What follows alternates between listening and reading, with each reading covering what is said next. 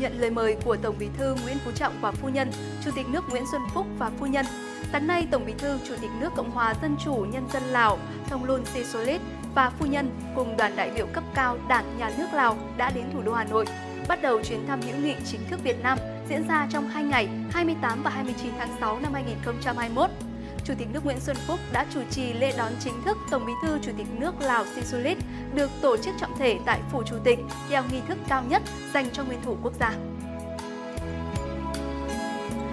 Thưa quý vị, thông tin từ Văn phòng Trung ương Đảng chiều nay ngày 17 tháng 1, Trung ương Đảng khóa 13 đã họp hội nghị bất thường xem xét và cho ý kiến về nguyện vọng thôi giữ các chức vụ, nghỉ công tác và nghỉ hưu của ông Nguyễn Xuân Phúc, Ủy viên Bộ Chính trị, Ủy viên Ban chấp hành Trung ương Đảng khóa 13, Chủ tịch nước Cộng hòa xã hội chủ nghĩa Việt Nam, Chủ tịch Hội đồng Quốc phòng An ninh nhiệm kỳ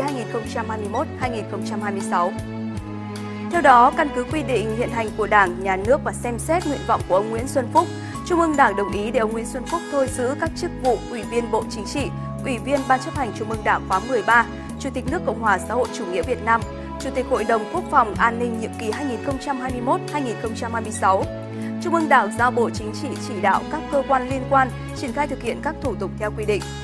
Trung ương Đảng cũng khẳng định ông Nguyễn Xuân Phúc là cán bộ, lãnh đạo chủ chốt của Đảng và Nhà nước, sinh ra trong gia đình giàu truyền thống cách mạng, được đào tạo cơ bản, trưởng thành từ cơ sở và được Ban chấp hành Trung ương Đảng, Bộ Chính trị các khóa, tín nhiệm phân công giữ nhiều chức vụ lãnh đạo quan trọng của Đảng và Nhà nước –